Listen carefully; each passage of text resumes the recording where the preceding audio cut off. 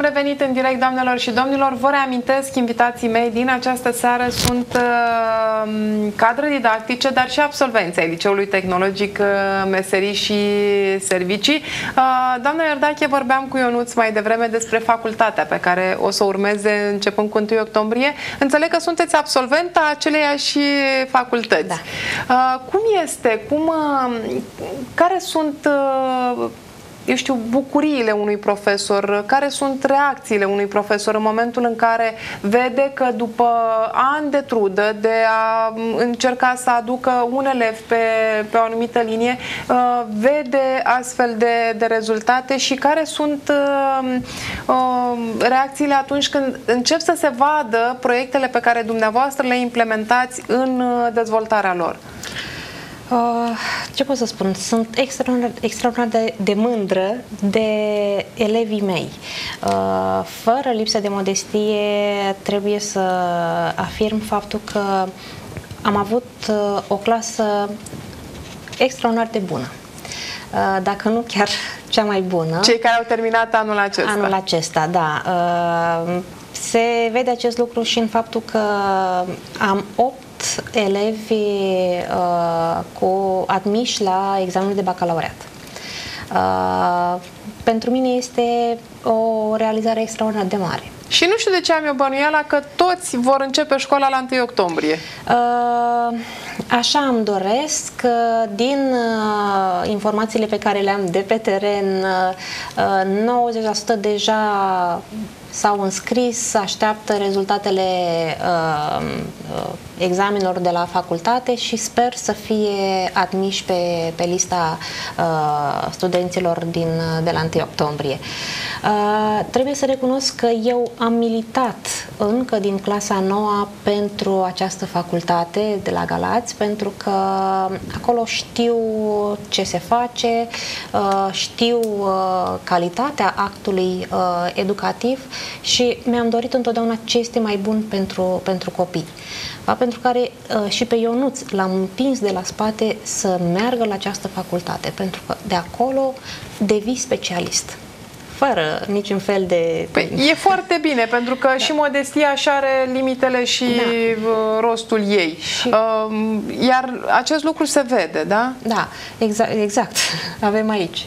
Uh, plus că Uh, tot ceea ce au făcut ei la școală, prin proiecte, prin uh, uh, prezența la ore și participarea la ore, vor pune în aplicare începând din octombrie în calitatea lor de elev.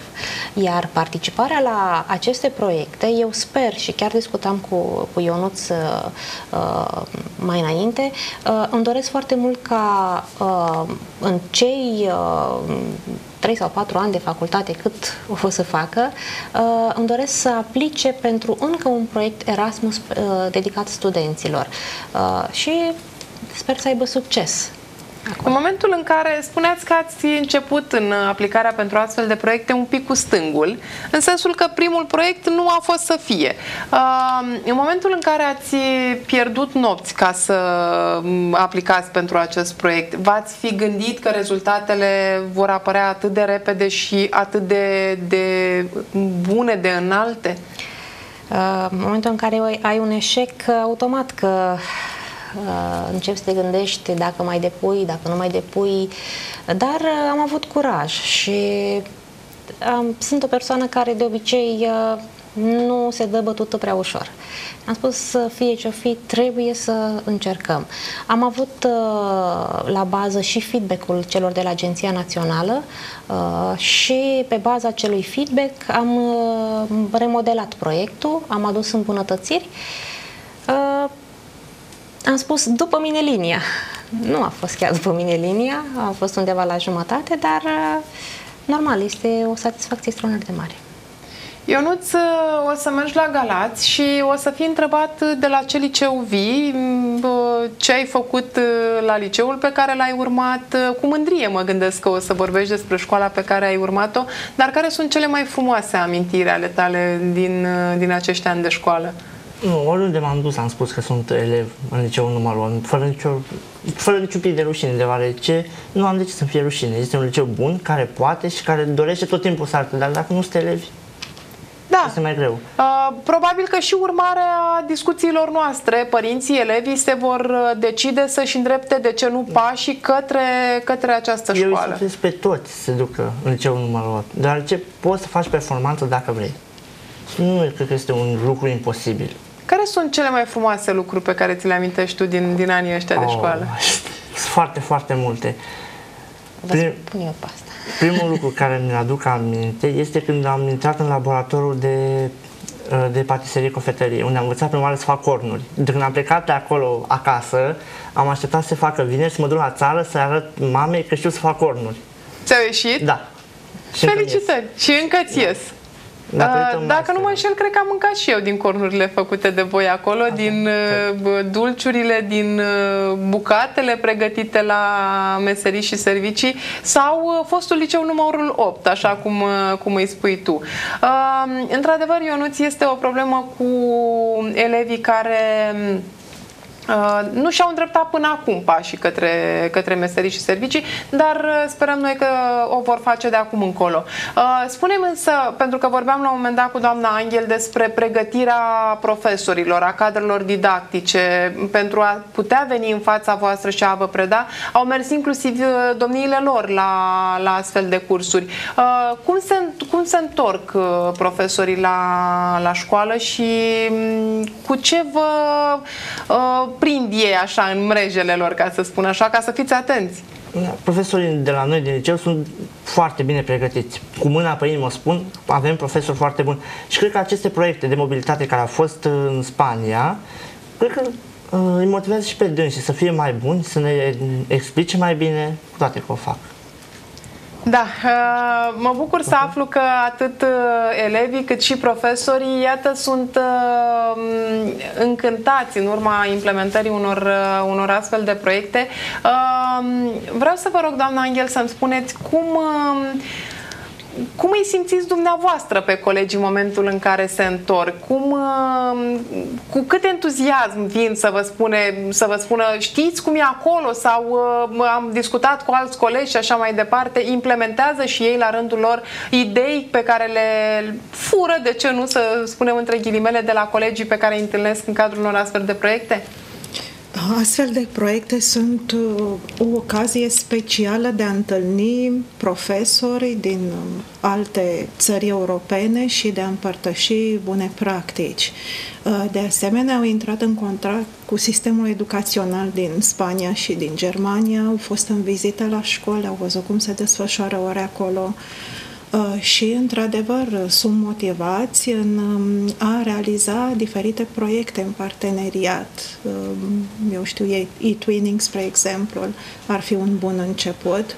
Chiar își doresc lucrul acesta și um, uh, vreau să vă spun că mare parte din ei au fost um, extraordinar de um, uh, bucuroși și entuziaști și chiar au, mi-au mulțumit sincer pentru ocazia pe care au avut-o și experiența deosebită pe care au uh, întâmpinat-o acolo. Deci, au fost Este greu, încântați. este greu să implementezi într-o școală românească, în sistemul educațional românesc, idei pe care le aduci de acolo. Uh, Există în școlile românești tot ce îți trebuie pentru a implementa astfel de, de idei? Ce să vă spun, spre exemplu, în Spania au învățat mult mai mult uh, în afară de jocuri, de spargerea gheței, de motivarea elevilor, au făcut uh, foarte mult um, practică, să spunem, dânsii, pe robotică. Au realizat roboți cu aplicații pe calculator, deci uh, lucruri foarte avansate. Uh, dar de asemenea și un învățământ uh, non-formal, să spunem, un învățământ uh, în aer liber, au plecat um, și au realizat activități în oraș uh, cu ajutorul aplicațiilor pe telefon mobil. Deci au experimentat um, foarte multe lucruri din ce mi-au povestit. Da, probabil Dar- că acum, fără răutate o spun, deși uneori m, mai dau frâu liber și răutății de pe acest uh, scaun, uh, este și foarte greu la la noi în România, în sistemul nostru educațional, în condițiile în care pentru o astfel de plecare despre care dumneavoastră vorbeați, trebuie să completezi nu știu câte hârtii, nu știu câte uh, aprobări ai nevoie să iei și așa mai departe.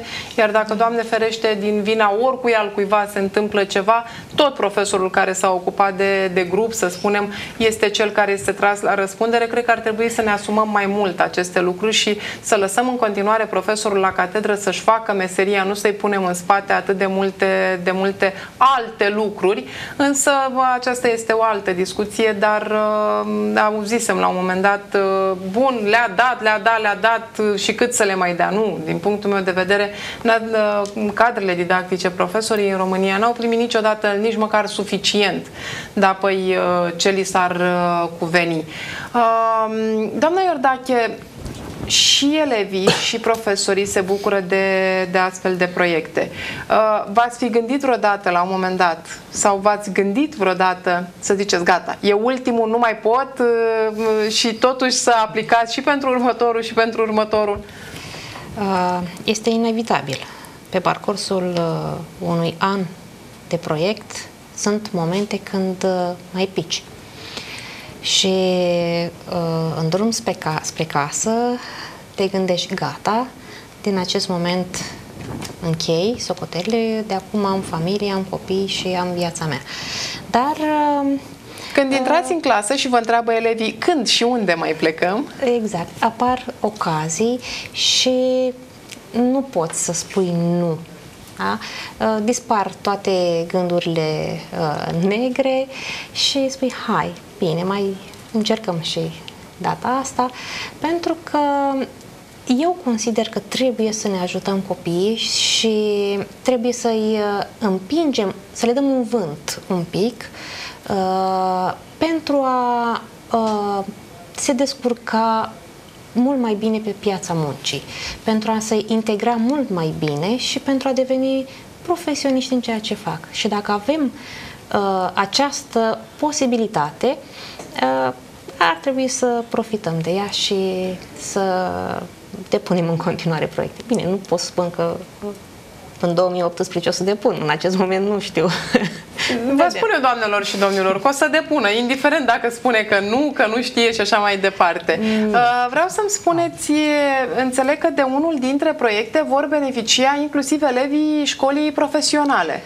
Exact. Anul acesta am uh, extins un pic paleta în ceea ce privește grupul țintă și uh, am introdus uh, pentru liceu o calificare nouă, uh, aceea de tehnician în turism, uh, tehnician în hotelărie, mă scuzați, și uh, ei vor pleca, de acolo vor pleca șapte elevi în Portugalia. Uh, Uh, și ne-am gândit că nu ar fi uh, rău să uh, ne ducem și către școala profesională, pentru că suntem un liceu uh, care, uh, la care uh, sunt pregătiți cei pe școala profesională și unde avem uh, clase pe școală profesională și am spus să profite și ei, va pentru care vor pleca și de la uh, această uh, de la calificarea ospătar Kellner, uh, vânzător în unități de alimentație publică, șapte elevi în Germania pentru două săptămâni.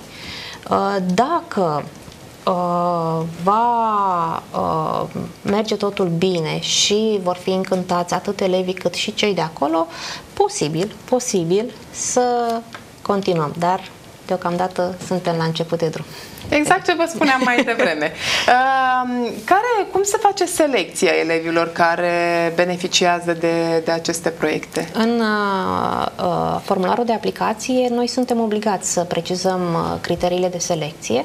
Va fi un uh, uh concurs Uh, fiecare uh, elev care dorește uh, a trebuit să-și depună un dosar cu un CV, cu o scrisoare de intenție și diplomele pe care le are până în acest, până acel moment.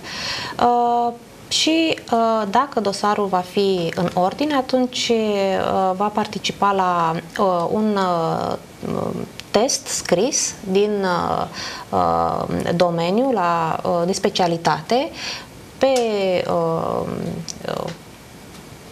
ofertă de meniuri, pe, depinde ce uh, calificare au.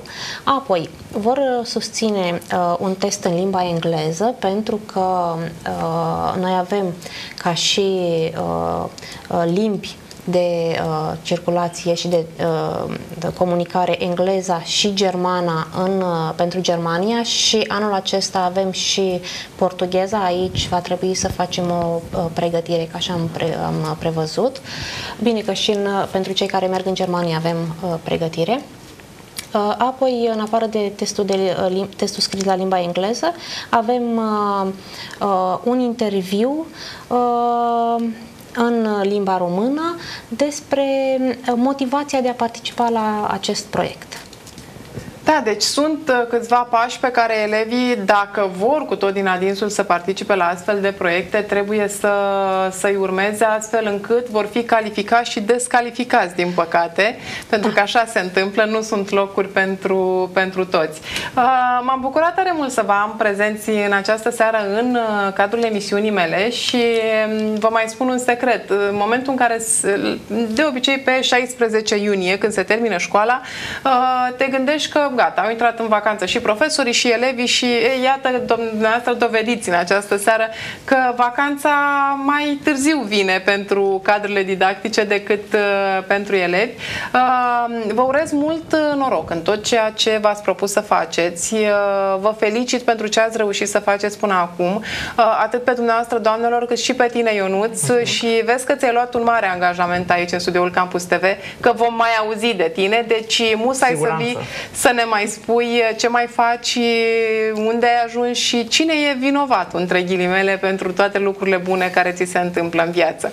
Vă mulțumesc tare mult pentru faptul că ați acceptat invitația mea și vă aștept oricând cu mare drag să vorbim și despre alte lucruri frumoase ce se desfășoară mulțumesc. acolo la Liceul Tehnologic Meserii și Servicii. Mulțumesc tare mult! Și noi vă mulțumim foarte mult pentru invitație. Doamnelor și domnilor, punem punct aici emisiunii noastre. Ne revedem mâine seară. Până atunci, toate cele bune. O seară minunată. Vă doresc la revedere!